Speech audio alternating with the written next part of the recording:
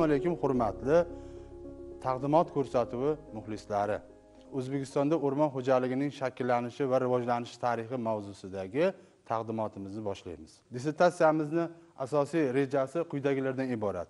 Kirish uchta bob va har bitta bobda e, alohida paragraflar bilan belgilangan. Dissertatsiyaning asosiy kirish qismida dissertatsiya mavzusining dolzarbligi va uning zaruriyati.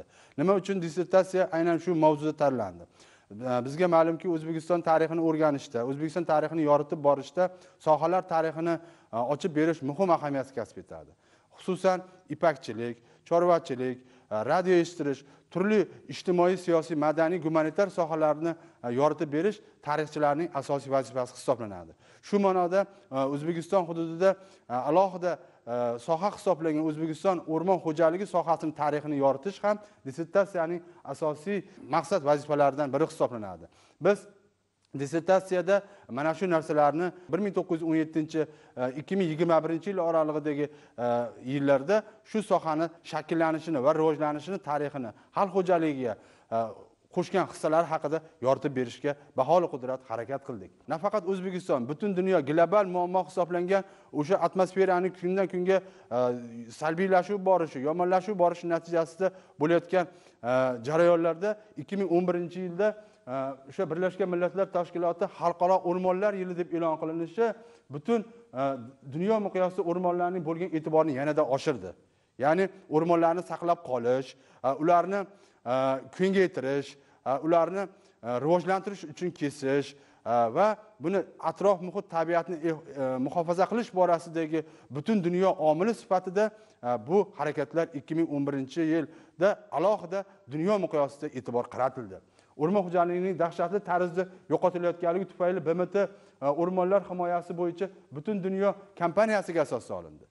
Ya'ni butun dunyoda hamma dunyo davlatlari hamjihat bir tana bir jon bo'lib mana shu tabiatni asrab qolishda yana asosiy o'rinlardan biri shu o'rmonlarni saqlab qolish maqsadi butun dunyoga ko'ndalang qilib qo'yildi. Bizni hududimizda ham xuddi mana shunday sa'y harakatlar e, o'sha o'rmonlarni saqlab qolishga bo'lgan harakatlar rivojlanib bormoqda. Biz mana shu e, mavzu orqali mana shu yo'l orqali dissertatsiyamizda mana shu narsalarni ko'rsatib berishga harakat qilganmiz. Demak e, o'sha tadqiqotning respublika va fan texnologiyalari rivojlanishining ustuvor yo'nalishlariga mosligi tadqiqot respublika fan texnologiyalari rivojlanishining axborotlashtirilgan jamiyat va demokratik e, davlatni ijtimoiy huquqiy iqtisodiy ma'naviy ma'rifiy rivojlanishini innovatsion g'oyalar tizimlarini shakllantirish va ularni amalga oshirish yo'llarini ustuvor yo'nalishlari doirasida bajarilgan. Muammoni o'rganlik darajasiga e'tibor qaratadigan bo'lsak o'rmon xo'jaligi tarixi bilan bog'liq ma'lumotlar ekologiya tabiat atrof muhitini muhofaza qilishga bag'ishlangan adabiyot va o'sha tadqiqotlarda keltirilgan bo'lib ularning e, davriy jihatdan uch guruhga bo'lib ko'rsatishimiz mumkin. Bular birinchisi sovet davri adabiyotlari ikkinchisi mustaqillik yillarida nashr etilgan adabiyotlar va tadqiqotlar va xorijiy mualliflarning asarlari bu foydalanilgan adabiyotlarga kiradi. Lekin e, shuni alohida ta'kidlash joizki bevosita mana bu adabiyotlarda e, e, o'rmonlarni saqlash ko'paytirishga qaratilgan sa'y harakatlar juda ko'p tadqiqotlar olib borilgan bo'lsa ham e, lekin bularda bevosita shu sohani tarixini yoritishga qaratilgan e, muammolar shu sohani tarixini ochib berishga qaratilgan e, fikrlar juda kam yoritilgan. Biz bevosita tarixchi sifatida shu sohani tarixini ochib berishga harakat qildik. Demak biz tadqiqotning dissertatsiya e, dissertatsiya bajarilayotgan oliy ta'lim muassasasining ilmiy tadqiqot ishlariga bilan bog'liqligi. Demak tadqiqot ishi o'zbekiston milliy universiteti e, tarix fakulteti o'zbekiston tarix kafedrasining tadqiqotlar ish rejasiga kiritilgan.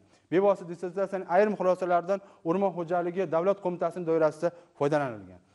Biz bularga tavsiyalar e, o'zimizni fikr va mulohazalarimizni berganmiz. Tadqiqotning maqsadi nimalardan iborat? O'zbekiston o'rmon xo'jaligini shakllanishi rivojlanishining tarixini ochib berish asosiy e, maqsadlardan biri hisoblanadi. Quyidagi vazifalarni biz o'z oldimizga maqsad qilib qo'ydik. Turkistonda o'rmon xo'jaligini tashkil etishi e, haqida so'z yuritamiz. E, o'zbekiston o'rmon xo'jaligi tarmoqlari va ularning xalq xo'jaligidagi o'rni haqida yoritib berishga harakat qilganmiz. Urushdan keyingi davrda o'zbekiston o'rmon xo'jaligining tarkibiy o'zgarishlar. U bilan bog'liq bo'lgan davlat siyosati. Urushdan keyingi sovet hukumati davrida bevosita e, o'rmonlarga davlatning qanday olib borilgan siyosatlari bevosita e, mana shu qismida yoritib berishga harakat qilganmiz. O'zbekiston hududida qo'riqxonalarning tashkil qilinishi e, faoliyatini tahlil etish jarayonlari haqida ham alohida to'xtalib o'tganmiz. Chunki tabiiy xilma xillikni tabiiy biosferani saqlab qolish maqsadida bevosita e, qo'riqxonalarning ahamiyati juda katta hisoblanadi. O'zbekiston o'rmon xo'jaligini e, sohasidagi o'zgarishlar xalqaro aloqalari o'zbekiston o'rmon xo'jaligi bevosita shu sohani rivojlantirish uchun markaziy osiyo davlatlari bilan mdh davlatlari bilan hamda yevropa e, shu soha rivojlangan davlatlar bilan bevosita xalqaro aloqalari bizni mana shu rejamizda o'z aksini topgan. Tadqiqotni obyekti qilib bir ming to'qqiz yuz o'n yettinchi hamda ikki ming yigirma birinchi yillar oralig'idagi e, shu davrdagi shu sohani tarixini yoritib berishni e, harakat qilganmiz va obyekti sifatida olganmiz. Bevosita tadqiqotning predmeti qilib o'zbekiston hududida o'rmon xo'jaligini tashkil etilishi va ularning respublika ekologik holatini yaxshilash yaxshilash ko'kalamzorlashtirish va obodonlashtirish E, borasidagi ishtirokini tahlil etish belgilanadi. Tadqiqotning usullari tadqiqotning usullari sifatida bevosita dissertatsiyada tarixiylik obyektivlik tamoyillari hamda tizimli qiyosiy tahlil e, muammoli va fanlararo yondashuv kabi usullarni foydalanilgan. Yuqorida aytib o'tganimdek tadqiqotning ilmiy yangiligiga yana nimalarni aytishimiz mumkin?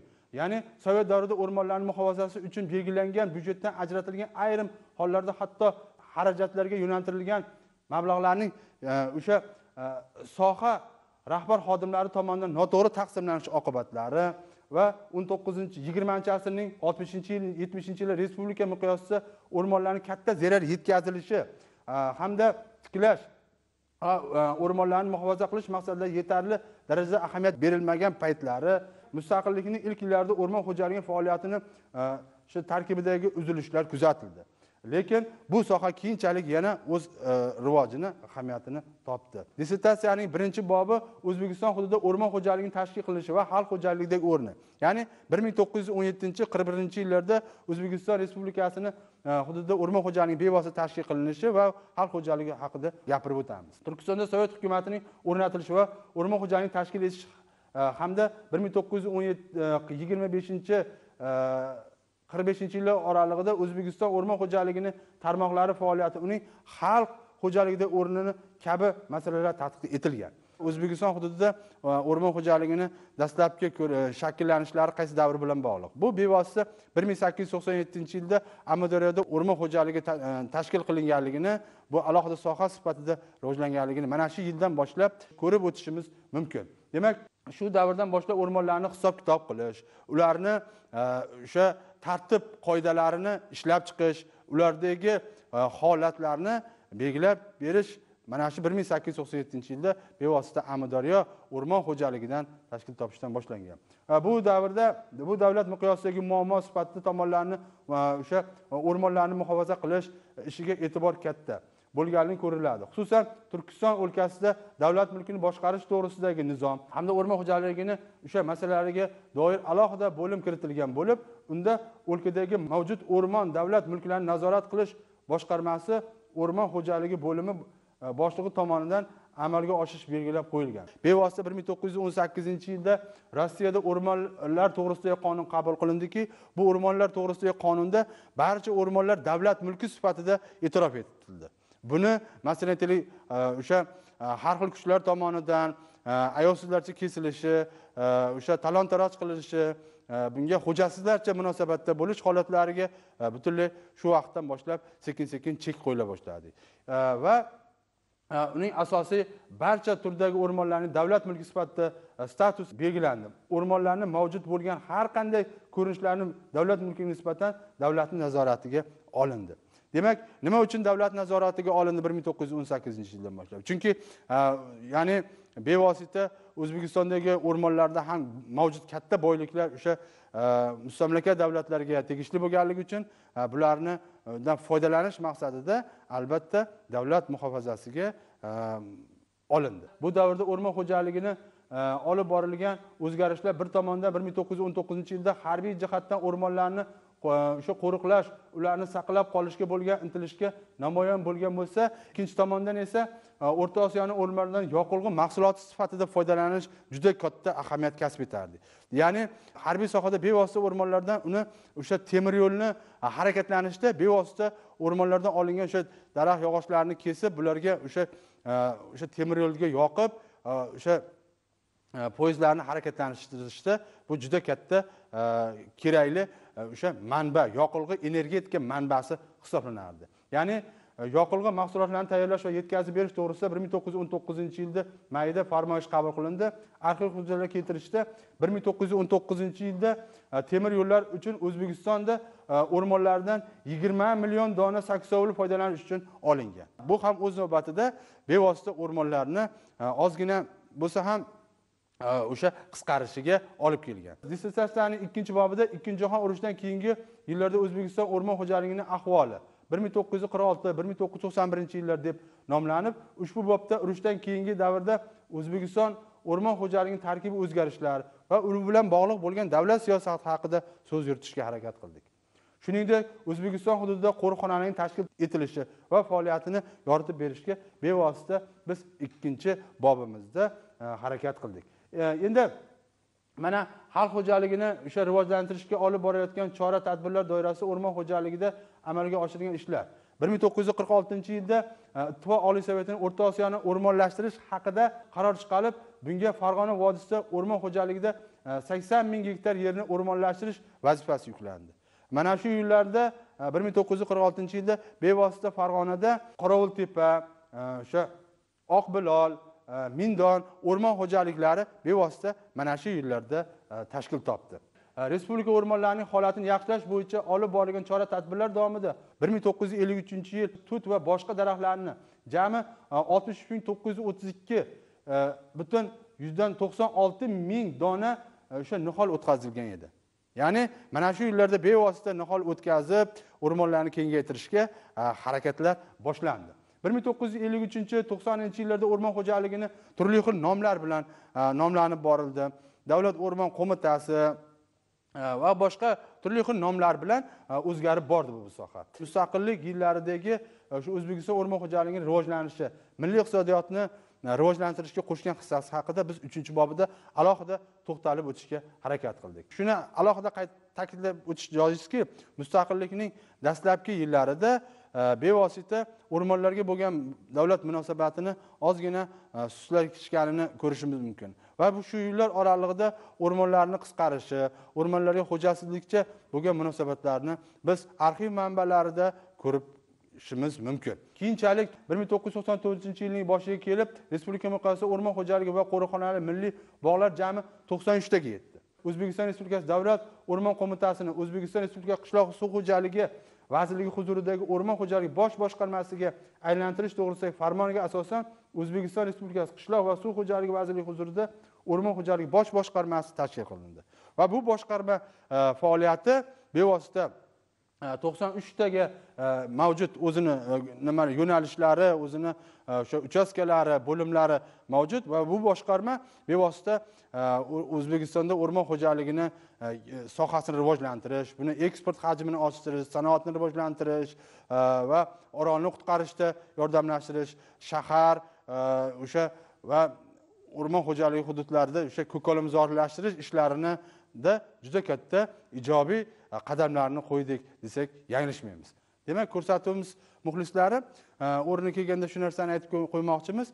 Shu sohani rivojlantirish borasida e, alohida farmonni eslatib o'tmoqchiman. ikki ming o'n yettinchi yilda o'n birinchi mayida o'zbekiston respublikasi prezidentini o'rmon xo'jaligi davlat qo'mitasini tashkil qilish to'g'risida farmon e'lon qilindiki bu eski bundan oldingi qishloq va suv xo'jaligi vazirligini tarkibidagi o'rmon xo'jaligi bosh boshqarmasidan Э, farqli o'laroq alohida qo'mita sifatida э, ikki ming o'n yettinchi yilni o'n birinchi maydan boshlab faoliyatini boshladi.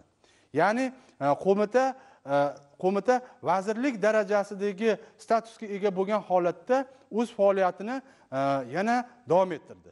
Bu e, ikki ming o'n yettinchi yilda e, prezidentimiz shavkat mirziyoyevni o'zbekiston respublikasi e, o'rmon xo'jaligi davlat qo'mitasini tashkil etish borasidagi imzolagan farmoni soha xodimlarini faoliyatini e, yanada rivojlantirishga muhim ahamiyat kasb etdi. E, prezidentimiz shavkat mirziyoyev ikki ming yigirmanchi yilning o'ninchi aprelda yovvoyi holda o'suvchi dorivor o'simliklarni muhofaza qilish madaniy holda yetishtirishni qayta ishlash va mavjud resurslardan alohida foydalanish chora tadbirlari to'g'risida qarorni qabul qildilar. O'rmonlarda tabiiy holda o'suvchi o'simliklardan e, aholini sog'lig'ini tiklash uchun turli xil dori darmon vositalarini ishlab chiqarish bevosita kengaytirish ikki ming yigirmanchi yilni o'ninchi apreldagi farmoni bevosita shu sohadagi dori darmon vositalarini ishlab chiqarish sog'liqni saqlashga va eksport hajmini oshirishda juda muhim ahamiyat kasb etdi.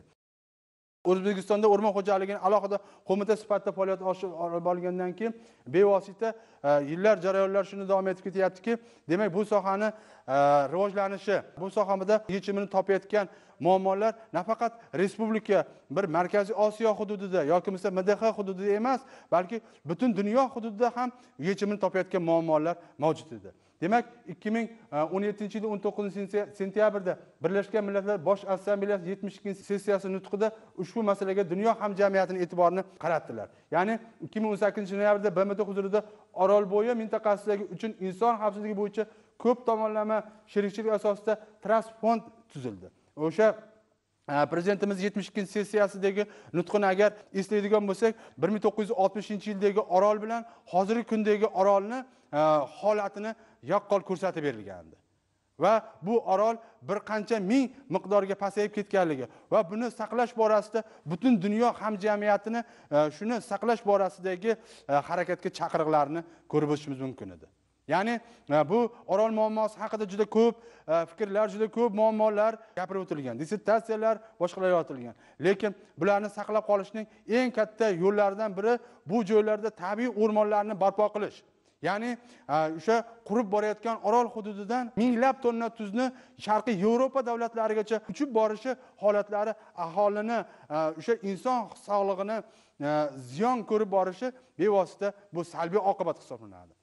Va bu joylarda saksovulzorlar o'rmonzorlar o'sha daraxtlarni o'tkazib o'sha minglab gektar daraxt o'rmonzorlarni bu yerda barpo qilinishi bevosita orolni saqlab qolish orolni o'sha tuzlarini atrofga uchib ketmasligi o'sha cho'llanish va boshqa boshqa masalalarni muammolarni o'sha yechimini topishga alohida prezidentimiz yetmish ikkinchi sessiyasida global muammo sifatida o'z e'tiborini qaratganligi biz hammamiz eslaymiz va shuni e'tiborga olishimiz kerak. Va bu borada qilingan ishlarni samarasi o'laroq ikki ming o'n to'qqizinchi yil yigirma to'rtinchi dekabrda esa o'zbekiston respublika vazirlar mahkamasi orol dengiz tubida suvda qurigan e, qurigan hududlarda yashil qoplamlar himoya o'rmonlari barpo etish bo'yicha e, chora tadbirlar e, o'n o'ttiz birinchi sonli qaror qabul qilindi. Qarorda ushbu hududda bir million bir yuz yigirma olti ming gektar miqdorda o'sha saksovulzorlarni barpo qilish ishlari rejalashtirildi. Va Э, qarang to'rt yuz oltmish bir ming gektarga e, o'rmon barpo qilish ishlari amalga oshirilgan. Va buning uchun to'qson uch kilometr masofada himoya to'siqlari tashkil etilib keyingi e, o'sha kelgusida e, o'sha ekish mavsumida alohida shu ko'chatzorlarni barpo qilish ishlari ham bu joylarda samarali tashkil qilindi. Demak bu ishlarni barchasida bevosita prezidentimizni shu sohaga e'tibori va shu soha xodimlarini o'sha olib borgan sa'y xizmatlari katta. Shuning bilan o'zbekistonda o'rmon xo'jaligini shakllanishi va rivojlanish tarixi mavzusidagi e, taqdimotimiz o'z nihoyasiga yetdi. E'tiboringiz uchun rahmat.